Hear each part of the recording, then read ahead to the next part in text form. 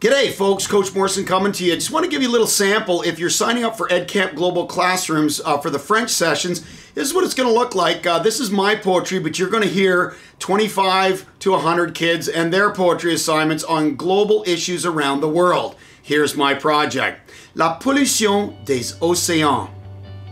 Plastique et ordures, lancés et laissés, unis, tout ici, obstacle n'importe comment dans l'eau, s'agrafer, océan dans les courants égir, échec avec nautique saleté, pollution des océans.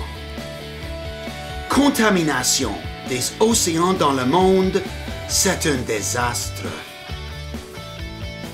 Pollution, fou, stupide, jeté, lancé, pollué. Les humains détruisent les océans patch à ordures. Dans les girées courants, c'est la place, à cause des humains qui sont voraces. La pollution des océans est négative. Les mauvaises personnes sont agressives. C'est un grand problème mondial.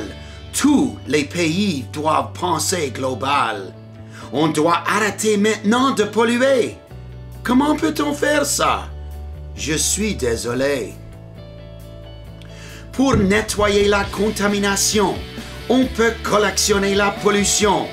Ramasser beaucoup de plastique, ça va être totalement fantastique.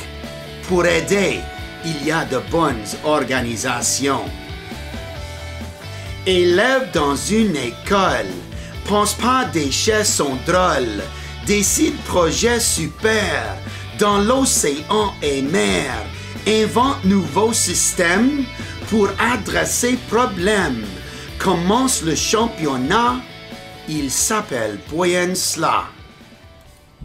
Ladies and gentlemen, I hope you enjoyed that. There are going to be 100 students over four hours during EdCamp Global on January 28th. It's real easy. Simply go to EdCamp Global, register, and have your FSL classroom hear some grade 8 French poetry on global issues and this is one awesome global learning and, uh, experience.